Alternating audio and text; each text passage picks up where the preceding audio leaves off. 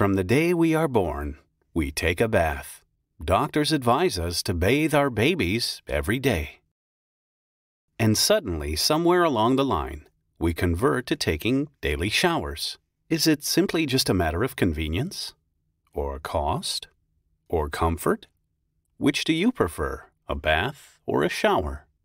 The oldest account of bathing as a daily ritual dates back to the ancient Indians who took three baths a day. Some communities still practice this today.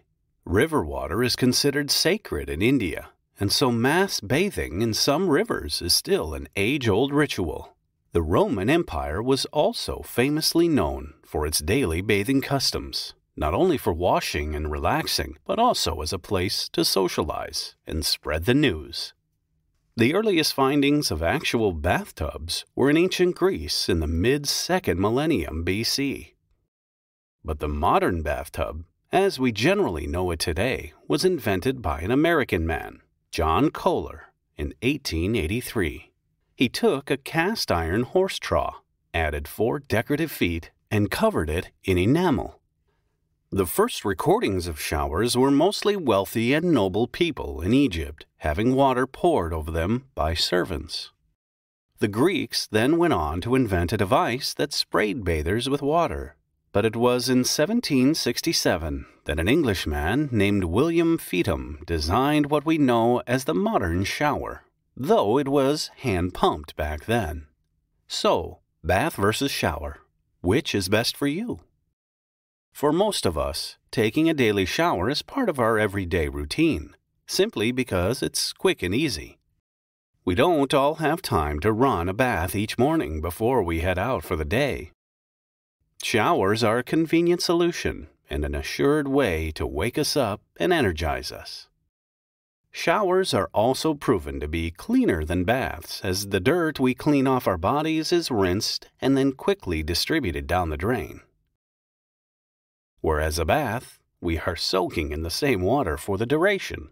It is not uncommon for people who take a bath to quickly rinse off with a shower once they leave the bathtub. Baths are a great way to relax. Most people who prefer baths take them in the evening after a long, hard day at work or school to relax the muscles and stimulate the nervous system. Studies have shown that people who regularly bathe experience less stress, fatigue, or depression. It is also a common suggestion for many who suffer from any kind of muscle or joint pain that a bath can help to ease the pain. Recent health studies are suggesting that cold showers are the way to go. Though they may be an uncomfortable way to start your day, that cold shock that first hits your body increases both oxygen intake and heart rate and naturally wakes you up quicker than a hot shower. Here are a few interesting facts about baths versus showers. On average, British citizens take five showers and three baths a week. Japan takes five showers and six baths a week. Does that make the Japanese cleaner? More relaxed? or both. India takes the most baths, on average seven per week. Bathing twice a day is not uncommon either. Brazilians hold the record for most showers, an impressive 12 per person per week. 1 trillion gallons of water per year are used in the U.S. for showering.